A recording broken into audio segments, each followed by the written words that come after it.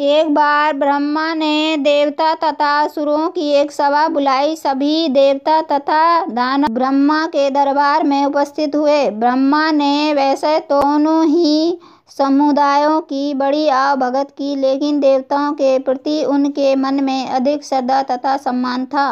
दानवों ने इस बात को भांप लिया कि ब्रह्मा के मन में देवताओं के प्रति अधिक मान सम्मान बराबर का बर्ताव कर रहे थे। दानवों के राजा ने कहा, ब्रह्मा जी, देखिए, आप देवताओं को अधिक महत्व दे रहे हैं। उनके प्रति आपके हृदय में अधिक सम्मान है।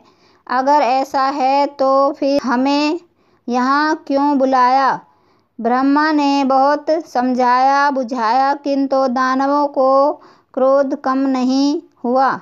अब तो ब्रह्मा ने संकल्प किया कि दानवों को इस बात का बोध कराना ही होगा कि वे देवताओं के बराबरी नहीं कर सकते। ब्रह्मा ने असुरों के राजा से कहा मुझे प्रसन्नता होगी यदि आप देवताओं के समान बन जाएँ, उनसे पीछे ना रहें। हम तो पहले से ही उनसे बहुत आगे हैं। असुरों के राजा ने अकड़कर कहा, बुरा ना मानो तो मैं आपकी परीक्षा ले लूँ।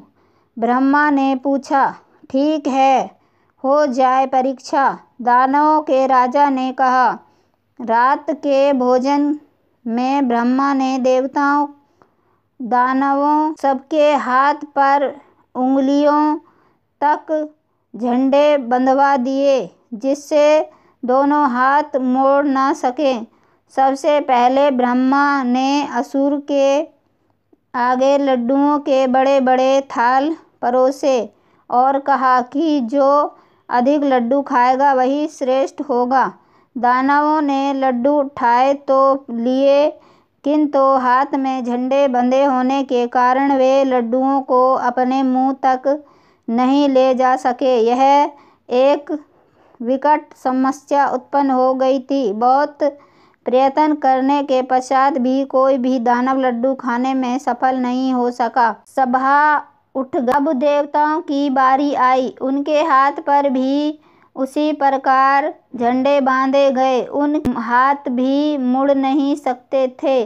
पंक्तियों में बैठे सभी देवताओं के सम्मुख लट्टू परोसे गए। देवताओं ने दो दो जोड़ी बना। एक देवता दूसरे देवता को खिला रहा था, तभी दानव यह तमाशा देख रहे मानना पड़ा कि वास्तव में देवता दानवों से श्रेष्ठ हैं। राजा को मंत्री की कहानी बहुत पसंद आई। वह मान गया कि वास्तव में एकता द्वारा कुछ भी कार्य किए जा सकता है।